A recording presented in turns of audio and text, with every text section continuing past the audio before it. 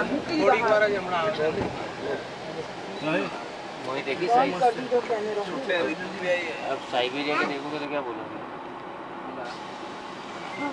अब अब पाँच मिनट तो रोक इसको बहुत जल्दी है। लगता है टैक्सी भी